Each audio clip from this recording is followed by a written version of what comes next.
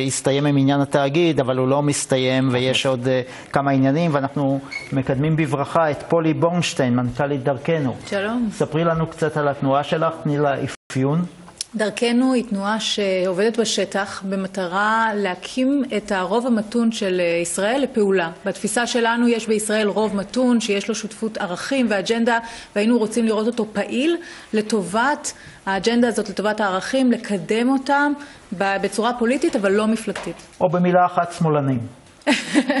היום כולם שמאלנים, נכון? לא, לא שמאלנים.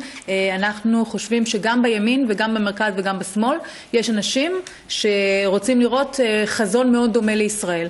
הבעיה היא שיש קיצוניים בימין ויש קיצוניים בשמאל שעובדים ככה מעל הראש שלנו ולא מאפשרים לרוב המתון להשמיע כל משמעות. אבל הנה, אתם צריכים להיות מרוצים כי נתניהו הגיע עם טראמפ להסכם של ריסון ההתנחלויות, ריסון בנייה רק בתוך תחומי ההתנחלויות. אז הנה, הממשלה הימנית ביותר שהייתה בישראל מקבלת החלטות שאתם צריכים להיות מרוצים מהן. נכון, זה אגב, קודם כל בשורה מצוינת. בדרכנו אנחנו בעד היפרדות מהפלסטינים. אנחנו היינו רוצים לראות בסופו של דבר פתרון של שתי מדינות, לא מחר בבוקר, אבל בהחלט לראות צעדים בוני אמון לקראת מציאות כזאת. בוודאי שאנחנו מברכים גם על איזושהי הגבלה של בנייה בהתנחלויות וגם על מחוות כלפי הפלסטינים. שוב, לא בגלל שמחר בבוקר אנחנו מצפים לראות פה הסכם, אלא כי אנחנו חושבים שישראל צריכה להראות לפלסטינים, להראות לעולם וגם לציבור בישראל, שבסופו של דבר אנחנו עדיין חותרים לראות פה פתרון של שתי מדינות. ואני מקדם בברכה עכשיו את יגאל דילמוני, סמנכ"ל מועצת יש"ע. שלום. אם פולי בורנשטיין מברכת עליי מתווה, אתה צריך להיות אבל וחפוי ראש. אנחנו הוצאנו הודעה שאנחנו מעודדים מהחלטת הקבינט ביום חמישי שעבר. אנחנו רואים בהחלטה הזאת הצהרה שההקפאה הסתיימה. כשאנחנו קוראים ולומדים מה, הייתה, מה היה שם בישיבת הקבינט, המשמעות של ישיבת הקבינט היא שאין יותר הקפאה הצהרתית, אנחנו אבל רוצים לראות שיש בנייה בפועל בשטח ולא מחכים שוב לאישורים. זאת אומרת, אם עד עכשיו, במשך שמונה שנים, הייתה גם הקפאה בדיבורים וגם הקפאה במעשים, ההקפאה בדיבורים הסתיימה, אנחנו רוצים לראות שגם ההקפאה במעשים הסתיימה. אבל זה חצי הקפאה, כי הרי לא נותנים לכם לבנות מחוץ לקו הכחול. לא, יש מגבלות, מגבלות קשות, אסור שבארץ ישראל יהיה על יהודים מגבלות בנייה, יש מגבלות שקשורות לבנייה בקו היישובים או סמוך ליישובים. אנחנו עם המגבלות האלה גם רואים בהם כמגבלות זמניות, ואם המגבלות האלה יכולים לבנות, אנחנו אבל אומרים לממשלת ישראל ולקבינט, החלטתם שאפשר לבנות, תנו לנו אישור לבנות איפה שאפשר. עוד מעט נמשיך לפתח את הנושא הזה, מצטרף אלינו אורי יזרעאלי, כתבנו. שלום, שלום.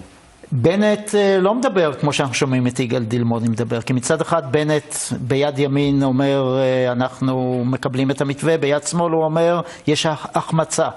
יש גם פערים בין בנט של אתמול בבוקר לבנט של אתמול בצהריים. כל שעתיים הודעה אחרת.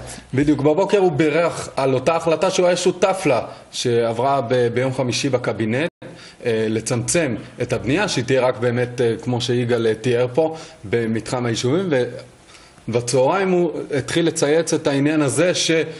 השיטה שלו אומרת ככה, אנחנו היינו צריכים, והוא מציל, מטיל את הכישלון לפתחי נתניהו שהיה בעצם פסיבי. הגיע פה ממשל חדש, ממשל טראמפ, טבולה ראסה עוד לא יודע פה שום דבר באזור, ויכלתם, יכלת להיות אקטיבי, הוא אומר, כמו שאני, יכולת להוציא יותר. יכול, יכלת לבוא עם מיזם ו, ולדחוף את כל הסיפור הזה של שתי המדינות, ישבת על הגדר, בסופו של דבר קיבלת את המתווה הזה שגרינבלט מייצג אותו פה, ובואו נשמע דברים שהוא אומר היום בגלי צה"ל. בנט. בנט תוקף את נתניהו במרומז. אני מאוד עקבי, אני אומר את עמדותיי לפני בחירות, בבחירות, אחרי בחירות, והפלא ופלא הם תמיד אותם עמדות. אני לא משנה את עמדתי דקה לפני בחירות, אני לא אומר שאני נגד מדינה פלסטינית ואחר כך אני בעד מדינה פלסטינית. אז לא, ואני קבוע בעמדותיי ויציב בזה. העקיצה לראש הממשלה פה הייתה ברורה, אני חייב לומר. היום אתה מאוד uh, מחפש את הריב, אבל אני לא, לא רוצה לריב, אני פשוט uh, מסמן שאנחנו צריכים uh, לצאת למדיניות שונה ולא להמשיך את אותו קו שהיה לנו בשמונה השנים האחרונות. לא רוצה לריב, אבל אולי בסוף יגאל דילמוני הם יריבו. כן, יכול להיות שזה ייגרר למריבה, אבל אני רוצה להגיד משהו בעניין הזה. בנט צודק בזה שהוא אומר, ראש הממשלה הכריז בנאום בר אילן שהוא תומך בפתרון שתי המדינות ועד היום הוא לא התנער מזה ואנחנו מבקשים ודורשים מראש הממשלה תתנער ממה שאתה אמרת על פתרון שתי המדינות. בנט גם צודק בזה וגם ראש הממשלה צודק בזה שה... ההחלטות של הקבינט האלה אומנם מטילות מגבלות, אבל זה לא הקפאת בנייה, אין דיבור על בנייה בגושים, אין דיבור על אה, חלוקה של האזור הזה לגושים או לא גושים, ואנחנו אומרים לראש הממשלה ולקבינט, דרך אגב גם לבנט וגם לש"ס וגם לכל חברי הקבינט, אתם החלטתם שאפשר לבנות, תנו אישורים לבנייה.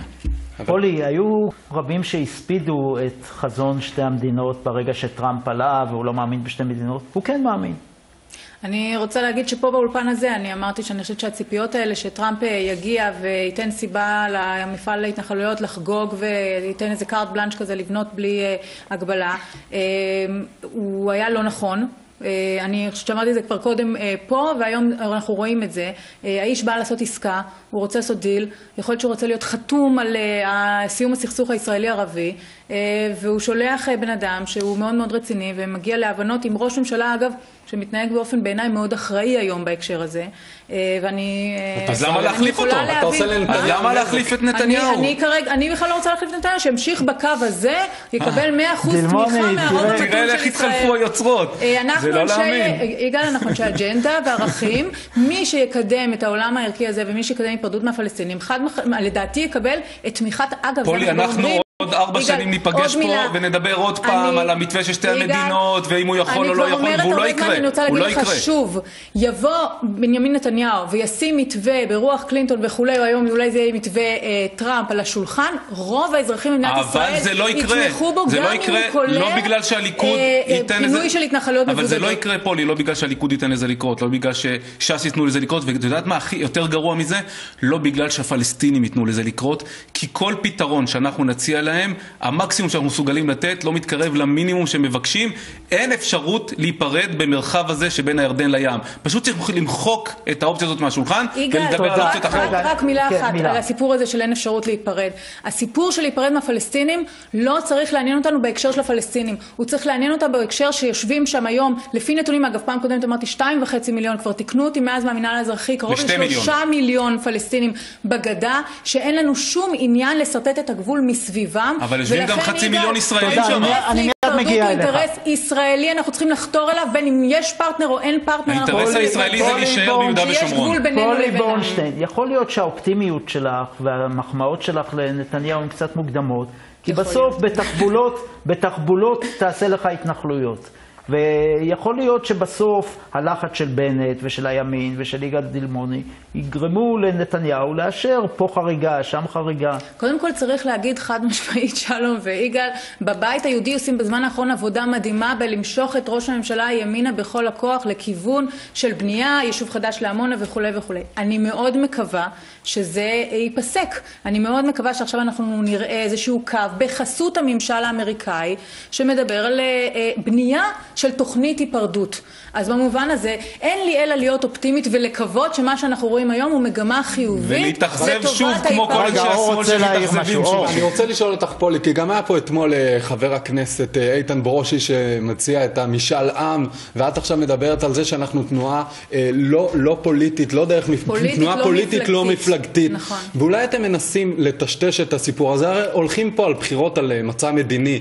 מי שניסה פה ללכת על מצע כלכלי, למשל שלי יחימוביץ' לא כל כך הצליחה פה. האג'נדה המדינית, פעם אחר פעם, לפחות בשנים האחרונות, הימין מנצח, ואתם אולי מנסים, אתם מנסים לטשטש פה את הסיפור הזה, ולא ללכת על העניין הזה. שראש הממשלה, נתניהו, זה שנבחר בבחירות, אמר בבר אילן שתי מדינות ולא חזר בו מאז. כשהליכודניקים מצביעים, אם לרגע אתם חושבים שהם מצביעים בעד ארץ ישראל השלמה, אתם טועים. הם מצביעים בשביל ליכוד חסר מצע, אבל שאמר בנאום בר אילן ב-2009, נכון, אמר שתי מדינות. אז אני אה, מבקשת לא להגיד שהציבור הישראלי מצביע ליכוד, כי הוא היה רוצה לראות פה סיפוח של יהודה ושומרון. לקראת הבחירות האחרונות, אבל, כן. גם לאריאל כהנא במקור ראשון, וגם כשהוא הלך, הגיע לעלי לעשות שם. זאת אומרת, נתניהו כן כל הזמן, ולכן מטריף אותו הדברים האלה שבנט עושה, שהוא מוציא אתמול תגובה כזאת, אתם, אתם אתה מלמד את, אה, דרוויש בבית ספר, כל פעם שמאתגרים אותו מימין, הוא מבין שהבייס הפוליטי כי שלו האלקטורט בורח לו. שלו נמצא, ב- הוא. מתחרה בואו נשמע תגובה. מיידית לידיעה שככה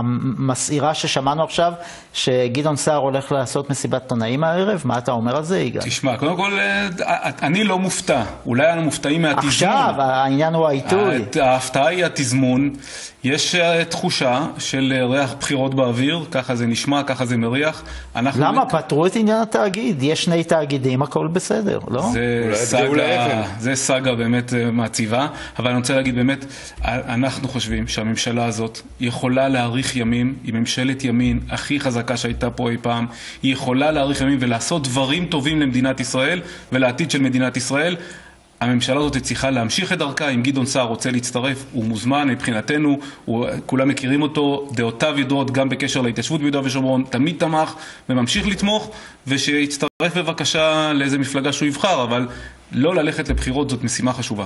פולי רוצה להגיד מילה על גדעון סער? אני, אני תכף אגיד על גדעון סער, רק אגיד ליגאל, אפרופו הממשלה הזאת, הימנית הכי חזקה שהייתה אי פעם, הממשלה הזאת בעצם לא עושה שום דבר, בוא נודה על האמת, היא לא משנה שום סטטוס קוו בשטח, זאת ממשלה שהיא מאוד מציקה, היא עושה הרבה מאוד רעש, אבל בפועל לא קרה שום דבר, לא בנייה, זאת לדעתי הממשלה שבנתה הכי הרבה פחות בהתנחלויות אי פעם, וזה רק להראות דרך אגב, אנחנו מקווים שזה ישתנה עכשיו בעקבות החלטת הקבינט. אני מקווה שלא, אבל נכון. בכל מקרה, בנסיבות הממשלה הזאת, הידיים שלה כבולות. גדעון סער, אגב, אה, אני מברכת על החזרה שלו, בסך הכל כשאנחנו רואים איזו התחדשות של אה, מנהיגות, סוף סוף אנשים אה, חדשים נכנסים למערכת, אנחנו תקועים עם ההנהגה הזאת כבר הרבה מאוד זמן, ובעיניי זה גם תוקע אה, תהליכים, תהליכים מדיניים, תהליכים כלכליים וחברתיים. אז אה, אהלן וסהלן, גדעון סער, אנחנו שמחים שבאת. לא להכריע פה. והגיע הזמן לממשלה שעושה צעדים, עושה רפורמות ומציעה חזון ותוכנית למדינת ישראל, הממשלה הזאת אל בוא, יגאל, לא עושה שום דבר. לו בבחירות. משפט אחד מכל אחד מכם לפני שניפרד. החמאס מנסה לשנות את האמנה שלו.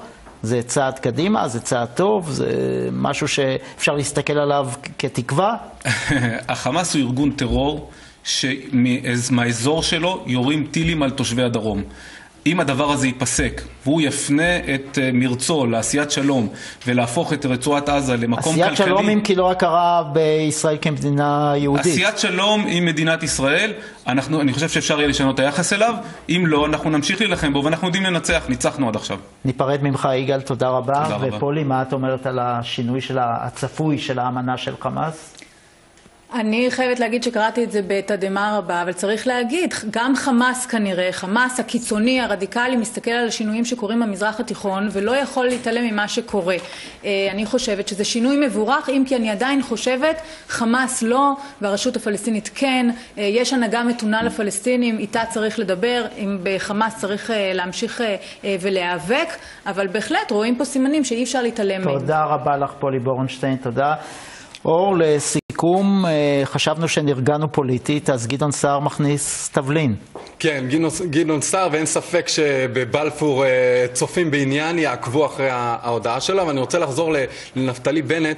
לא, לא נשכח שיש לנפתלי בנט פריימריז כרגע אה, בבית היהודי. לא שיש שם מתחרים שהולכים לערער אותו, אבל עדיין אנחנו מכירים את הסקרים שאיילת שקד מובילה עליו, אנחנו מכירים את השטח, ופריימריז זה דרך לבחון עד כמה אה, נפתלי בנט אהוד וחזק בתוך השטח שלו. תודה רבה. תודה, שלום. שלום יאנה סורדנה. שלום. דונלד טראמפ, עוד מעט נדבר על המזרח התיכון, אבל יש לו, חוץ מהמזרח התיכון, כמה צרות, לא?